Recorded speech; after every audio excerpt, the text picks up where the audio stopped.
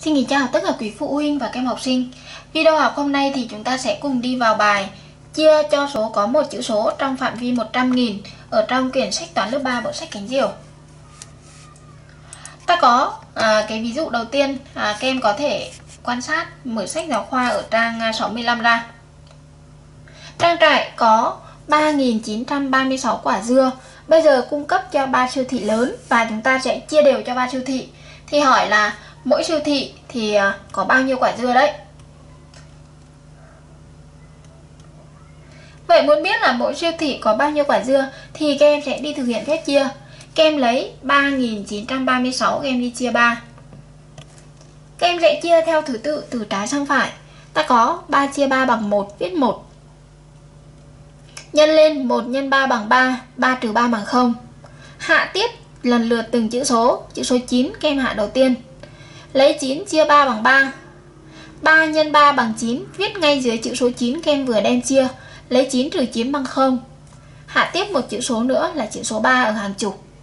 Ta có 3 chia 3 bằng 1 1 x 3 bằng 3 3 trừ 3 bằng 0 Hạ tiếp chữ số 6 hàng đơn vị. 6 chia 3 bằng 2 Lại nhân ngược lên 2 x 3 bằng 6 Và 6 trừ 6 bằng 0 Vậy kết quả của phép chia là bằng 1312 Vậy mỗi siêu thị thì sẽ có là 1312 quả quả dưa. Tương tự phép chia như thế thì bây giờ chúng ta sẽ thực hiện một số các cái phép chia sau. Bài tập số 1. Các em sẽ đặt tính các cái phép chia ở đây, chúng ta có 3 phép tính.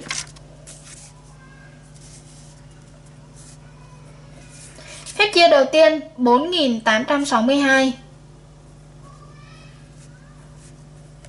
4862 kem đi chia 2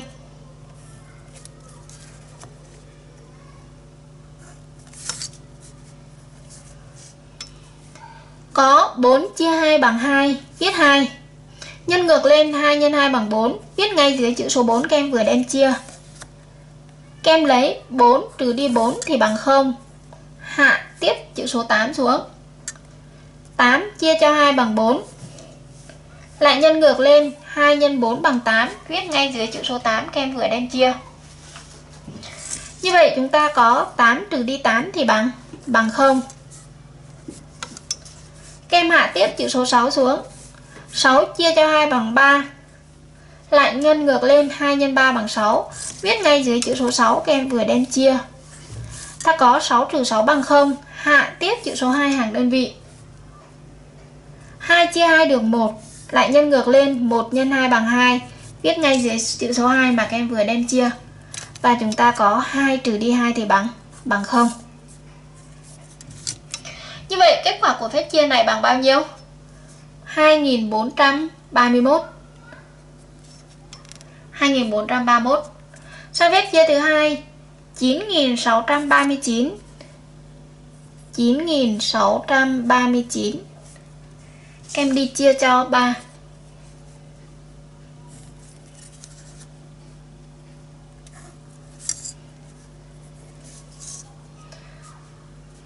Có 9 chia 3 bằng 3 Viết 3 Nhân lên 3 x 3 bằng 9 Đấy, viết ngay dưới chữ số 9 đầu tiên kem đem chia. Kem có 9 trừ 9 bằng 0 hạ 6 6 chia 3 được 2 lần Lại nhân ngược lên 2 x 3 bằng 6 Viết ngay dưới chữ số 6 vừa đem chia. 6 trừ đi 6 bằng 0 Hạ tiếp chỉ số 3 hàng chục. Ta có 3 chia 3 bằng 1 1 nhân 3 bằng 3 3 trừ đi 3 thì bằng 0 Kem hạ tiếp chỉ số 9 hàng đơn vị. 9 chia 3 bằng 3 3 nhân 3 bằng 9 Và 9 trừ đi 9 thì bằng 0 Như vậy, kết quả phép chia bằng bao nhiêu đây các em? 3213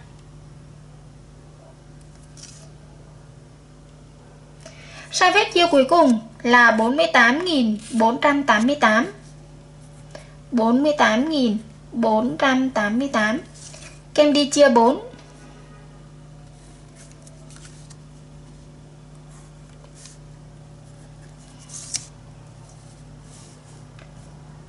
Ta cũng chia theo thứ tự, từ trái sang phải.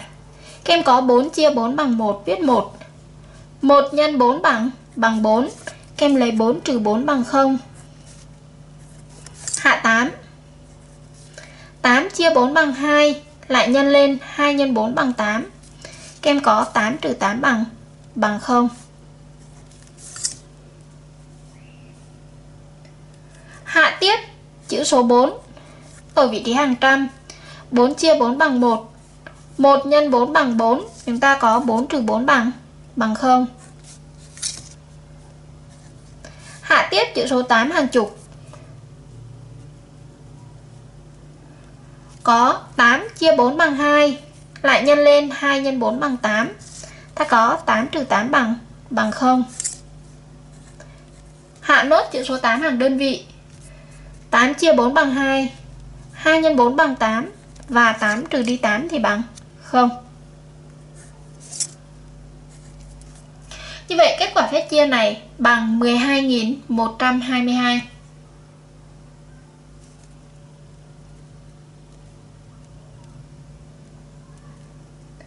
12.122 Cô chuyển tiếp sang bài tập tiếp theo, bài tập số 2 Những bạn nào mà chưa xong thì các em hãy dừng lại để làm cho xong nhé. Bài đầu tiên.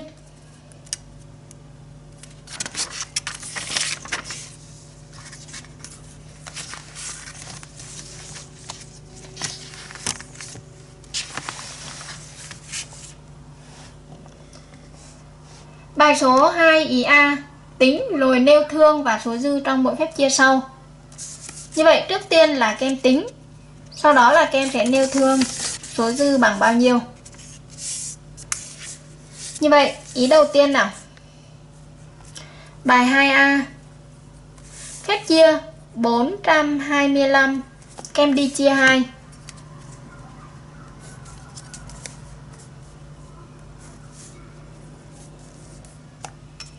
có 4 chia 2 bằng 2 nhân lên 2 nhân 2 bằng 4 kem lấy 4 trừ đi 4 thì bằng 0 hạ tiếp chữ số 2 hàng chục.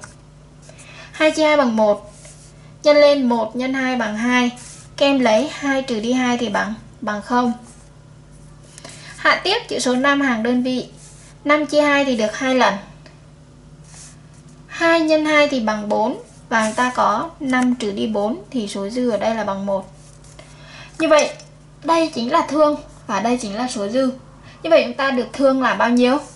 À thương là 212 và số dư là là một. Như vậy chúng ta được thương này. Đó là 212 và số dư.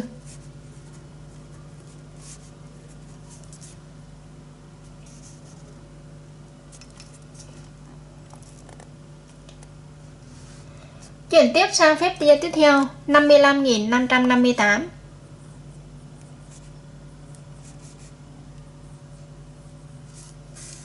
Các em đi chia cho 5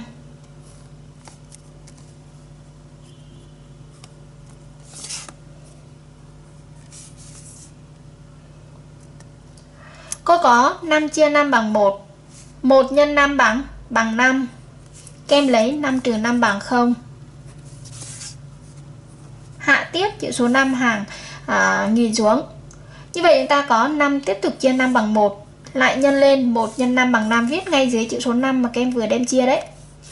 Ta có 5 trừ 5 bằng 0 hạ tiếp chữ số 5 tiếp theo. Đây chữ số 5 này. 5 chia 5 bằng 1 1 nhân 5 bằng 5 và 5 trừ 5 bằng bằng 0 các em lại hạ tiếp chữ số 5 hàng chục.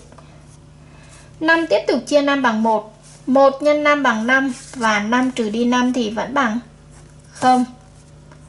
Hạ tiếp chữ số 8 đơn vị. 8 chia 5 cũng được một lần. 1 x 5 bằng 5 và 8 trừ đi 5 thì bằng bằng 3. Như vậy, đây là phép chia có dư. Thương là bằng 11.111 và số dư là bằng 3. Như vậy các em sẽ nêu thương và số dư ở bài này như sau.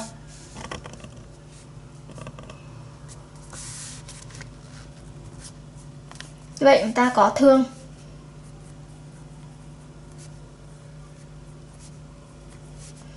mười một nghìn một trăm mười một và số dư ở đây là ba.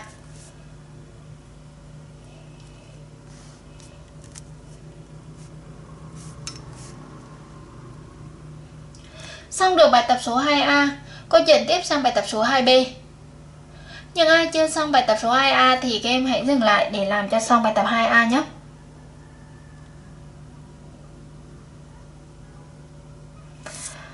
Bài tập số 2B yêu cầu các em thực hiện phép chia rồi thử lại theo mẫu. Các em nhìn mẫu này.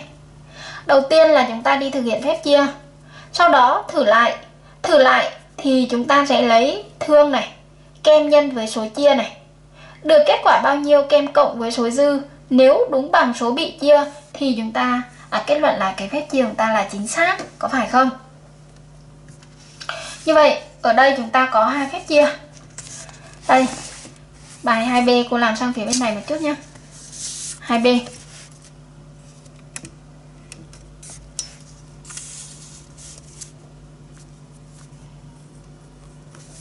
Cái ý đầu tiên của bài 2B là 4247 các em đi chia 2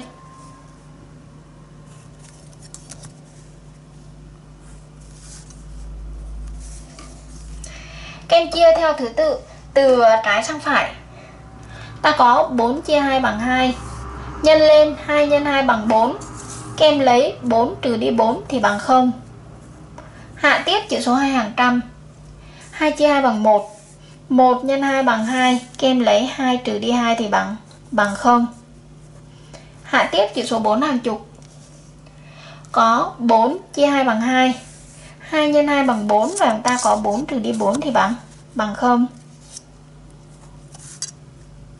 Hạ tiếp chữ số 7 hàng đơn vị. 7 chia 2 thì được 3 lần. 3 x 2 bằng 6 Kem lấy 7 trừ đi 6 thì còn 1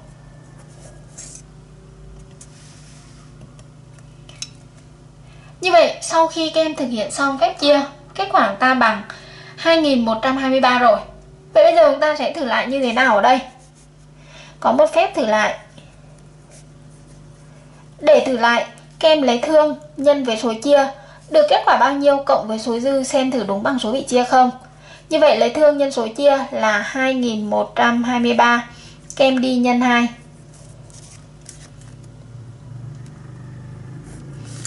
2 x 3 bằng 6 này 2 x 2 bằng 4 này 2 x 1 bằng 2 và 2 x 1 bằng 2 Như vậy kết quả là bằng 2246 Sau đó kem lấy cái kết quả này, kem cộng với số dư. 2246 kem cộng với số dư. Cộng 1 thì nó bằng 2247 Có phải không? Như vậy, đây, nó chính bằng À xin lỗi các bạn 2 x 2 bằng 4 chứ. Xin lỗi cả lớp một chút nhé Như vậy là 4246 4246 em cộng 1 thì bằng 4247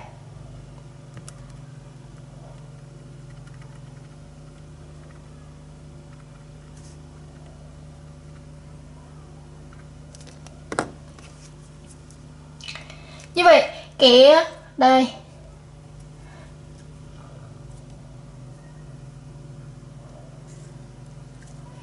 Đây là 4246 4247 Vậy sau khi thử lại thì các em thấy là 4247 này, Kết quả này đúng bằng số bị chia ở đây. Như vậy, đúng bằng số bị chia thì cái phép chia chúng ta thực hiện là chính xác. Như vậy, các em sẽ kết luận cho cô. Vậy, ta có cái phép chia là 4247 kem đi chia 2 thì bằng 2123 dư 1 Đây chúng ta kết luận lại là như vậy. Chuyển sang ý thứ hai. Ta có ý thứ hai như sau. Những ai chưa xong ý thứ nhất này, các em hãy dừng lại để làm xong nhé ý thứ hai là chúng ta có phép chia nào đây?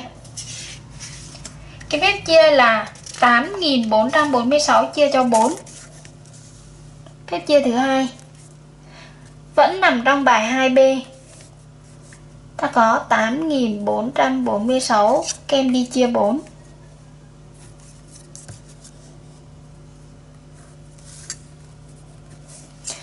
8 chia 4 bằng 2 Nhân lên 2 nhân 4 bằng 8 Em lấy 8 trừ 8 bằng 0 Hạ 4 xuống. 4 chia 4 bằng 1 Nhân lên 1 nhân 4 bằng 4 4 trừ 4 bằng bằng 0 Hạ tiếp, chữ số 4 hàng chục. 4 chia 4 bằng 1 1 nhân 4 bằng 4 Kem lấy 4 trừ 4 bằng 0 Hạ tiếp, chữ số 6 hàng đơn vị. 6 chia 4 được một lần. 1 x 4 bằng 4 và 6 trừ 4 thì bằng 2 Như vậy, theo cái phép chia này, chúng ta được kết quả phép chia đó là 2111 và dư 2 Thế bây giờ chúng ta thử lại xem thử có đúng hay không. Chúng ta có phép thử lại.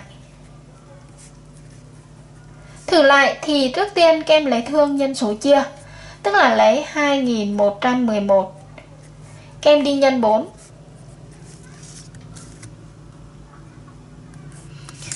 có 1 x 4 bằng 4 này. 1 x 4 bằng 4 1 x 4 bằng 4 Và 4 x 2 thì bằng 8 Sau đó kem lấy kết quả này Cộng với số dư Xem thử đúng bằng số bị chia hay không. Vậy chúng ta có 8444 Kem cộng 2 Đấy, Lấy kết quả cộng số dư Thì bằng 8446 Nó chính bằng cái số bị chia này đây kem như vậy là cái phép chia chúng ta là chính xác rồi. Vậy các em kết luận lại thôi. Vậy ta có phép chia là 8446 Các em đi chia cho 4 Bằng 2111 Dư 2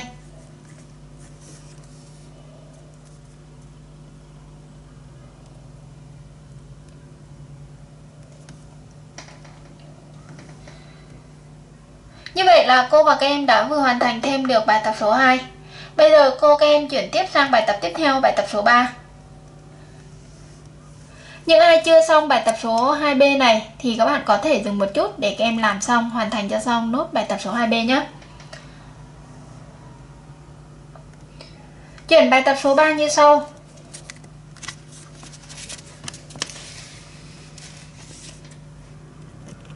Có 930g đậu xanh. Bây giờ chia đều vào 3 túi hỏi mỗi túi ờ, à, đậu xanh như thế thì cân nặng bao nhiêu gam?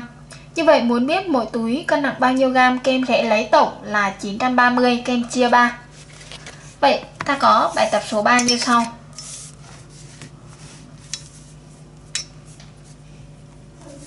Ta có bài giải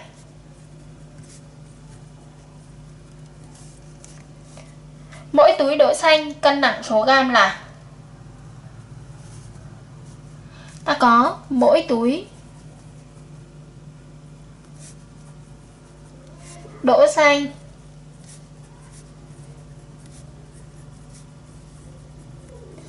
Cân nặng số gam.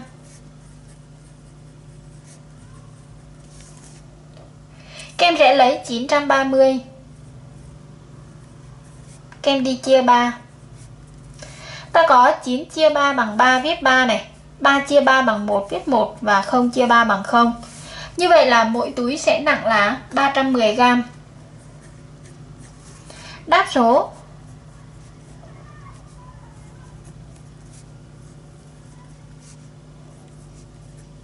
ba trăm mười gram đỗ xanh